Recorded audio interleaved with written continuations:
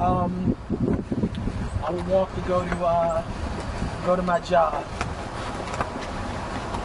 And you know, while I was working at McDonald's, I have to say, um, you know, I did enjoy some of some of the experiences of just you know having a job and the independence of getting some money, but. Um, for the most part, it was a the, the entire experience was one big reminder that um, I was going to make the dreams in my life come true, it wasn't going to happen just off of coincidence, or destiny, or fate. It was going to happen because I had to do certain things to make it, make it happen. This is really where I learned initiative.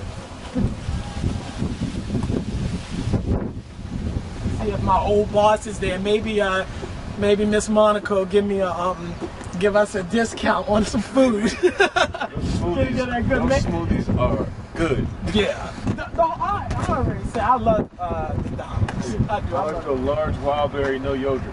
Oh really, large? Now, Did you eat the Dairy Queen food? Because I know I was tearing Yeah, I up. You love it. those- I loved it until I hated it. You love it? you know? As a kid, you don't eat so many barbecue sandwiches and hot dogs. Before that's Oh, we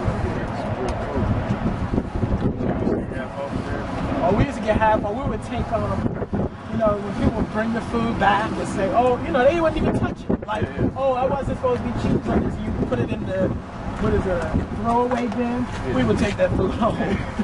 we would take that. I probably would have been uh, messing up a few orders on purpose.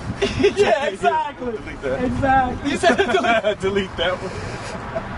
All right, so now we're coming up to right where I would, um, you know, it's funny when you would you would have, we would have to wear these silly, I, call them costumes. Really, they were to work. You know, these red shirts, pants, whatever. And if you didn't have your hat, they would give you a paper hat to wear. I mean, really, I think the whole experience of working at McDonald's was really about.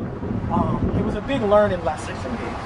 It was really a, it was a big learning lesson for me, and it was really, really, really crucial that um, it was very crucial that I had this experience um, because it really taught me some things that I don't think I would have ever learned otherwise.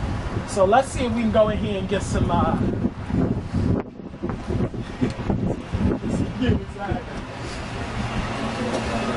so we come we coming on there and this is right ready to work. So I don't know how much they can let us shoot in here, but this is where I used to work here. You can tell there's some people over there. Where you been shot now, Like, I'm about to get Like I said. This was my very first job. I was 14 years old when my mother woke me up out of bed. She said, "You need to be doing something with your life," and that's exactly pretty much what she said. And um, I had to get a job. I, I, I, where else to get a job? So this is where I got my first job, right here at this McDonald's. Before I went to Morehouse College, before I went to Harvard Law School, this is where it started. So this is a test. I'm a testament. You can be anything you want to be. And you can start at McDonald's, but you can do anything you want. So let's take a little trip around. You can see some people eating here. We're gonna actually just walk right through. I used to work right back here. I just see people holding bags here.